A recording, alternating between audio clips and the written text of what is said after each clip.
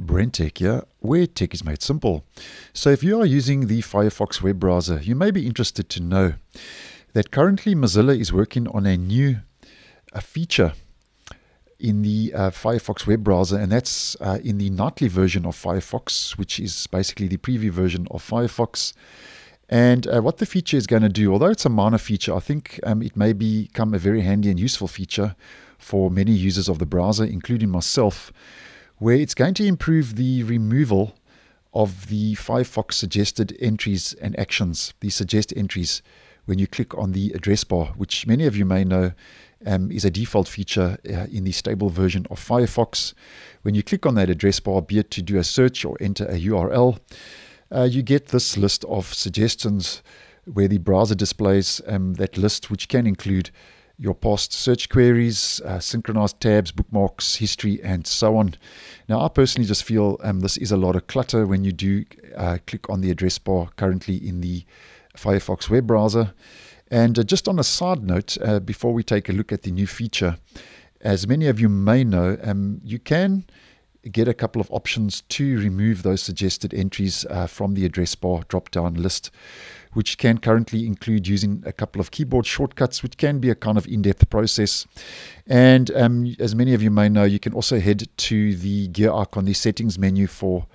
uh, the search and those search suggestions, which means you'd have to head to the search suggestions uh, section. Then you'd have to click on change settings for other address bar suggestions.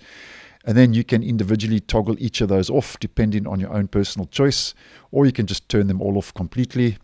which can be and you can see there that's turned off, which can be a bit of a lengthy process. Now that is all set to change,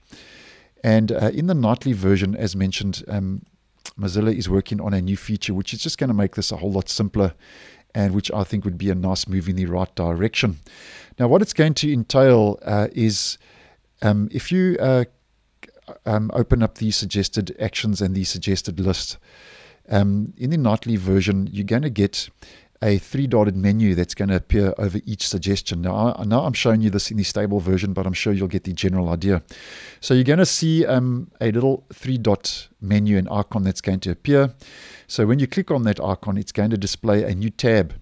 called Remove from History. And it's going to give you the option to remove that suggestion or those suggestions from uh, the history, which um, makes that removal option and the feature a lot more accessible, which I personally think will be a great move if, if and when Mozilla does roll that out to an up and coming stable version,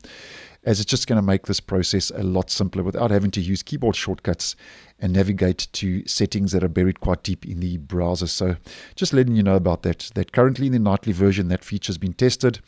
and according to reports, that remove from history option should be rolling out in an up and coming stable version in the near future.